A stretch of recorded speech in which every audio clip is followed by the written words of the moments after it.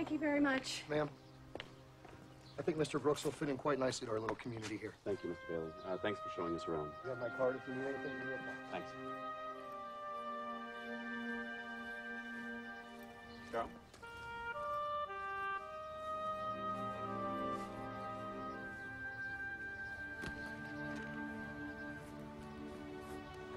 Is this what it's all about? This one seems like a nice place. I mean, for us. Don't you think you're jumping the gun a little? Unless they offer an early bird discount. Would you remarry if I were, you know? What? Because I'm telling you, I would. I don't like to be alone. It's scary. I know we're not always happy. Honey, I don't know anyone who's always happy.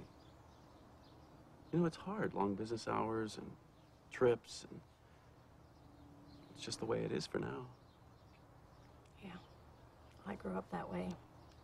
My daddy was always gone. He was never there for me.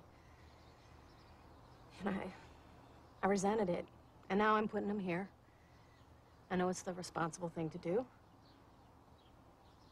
One day Annie's going to do the responsible thing too. Yeah, well, maybe to you. She likes me. That's it.